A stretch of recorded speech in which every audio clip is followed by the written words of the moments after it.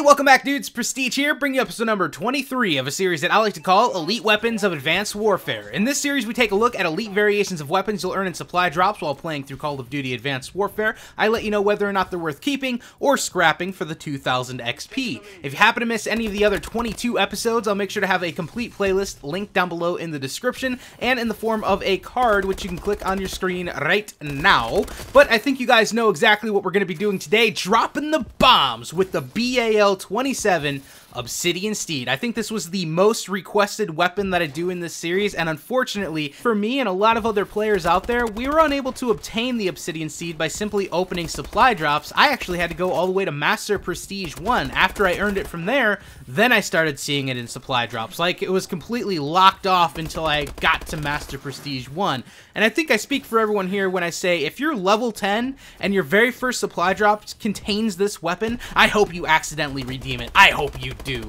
just because that adds salt to the wound. I mean, there's a lot of people out there that play this game every single day, and it seems like the supply drops reward players that don't even play this game, and that just really, really sucks. So, anyway, now that we finally have this weapon, I can finally talk about it, and I gotta say, it does live up to the hype. It is a very, very powerful weapon, even after the nerf that it went through. So let's go ahead and bring the uh, stats back up on the screen. There's three bad things that are happening, and a couple good things that are happening, and the good simply outweighs the bad in this situation. So let's talk about the handling decrease. There is going to be uh, a handling decrease of one, which is going to make your hip fire spread a little bit wider, and that's something that you're never really to have to worry about with assault rifles. You're not going to hip fire too often. However, if you feel so strongly about that, you can simply correct it by putting on a laser sight. However, there are so many other attachments out there that are going to work better for you.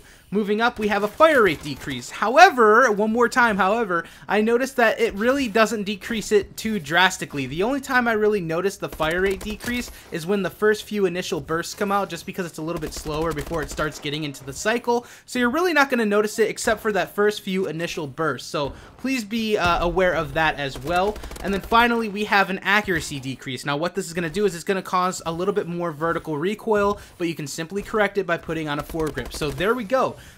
The BAL, when it did get that nerf, it got a little bit more recoil added to it anyway, and the uh, foregrip is just going to correct anything of the sort. So that's what I'm using in this gameplay. I got the foregrip on. Now switching back over to the good, we have a mobility increase. Now what this is going to do is it's it's actually going to increase your aim down sight speed. So every time you aim down sight, it's going to be a little bit quicker than the standard BAL. And if you really wanted to do something about that, you can increase it even more by putting on the quick draw handle, which is exactly what I did in this particular gameplay. And then finally, wrapping it up, we have the damage increase, and it actually does increase your damage. You're going to be seeing three to four shot kills Four shot kills very, very rarely. More than less three shot kills at very long ranges, extremely long ranges. And if you're getting headshot multipliers, that's going to be even easier. But three to four shot kills, i never seen anything over that, even at extremely long ranges. Uh, it's just a very, very overall beautiful weapon for anything you're trying to do. The Obsidian Steed actually works great in pretty much any game mode that you want to play, and I noticed that it works amazingly well in Momentum, and you want to probably use the attachments I'm using in this gameplay if you're playing Momentum, which is the Quick Draw handle, the foregrip, and the extended magazines. When you have multiple enemies rushing towards one objective, that extended magazine is simply there to help you spray and pray, and that is one thing that I can say works very well with this weapon, considering the three-shot kill range is so massive. So with all of that said, if you have this weapon, do not scrap it. Do not get rid of it. Do not think about scrapping it. It is a good weapon. Even after the nerf that it had, it's still very good and very viable in multiple types of game modes. It works great in Search and Destroy. Momentum, like I said before. Domination if you really wanted to use it there. But it's just a great weapon overall. Now, unfortunately, the game that you're watching right here is a losing game. But I still wanted to show you guys because I went on a huge tear. I went on two Mercilesses throughout this gameplay.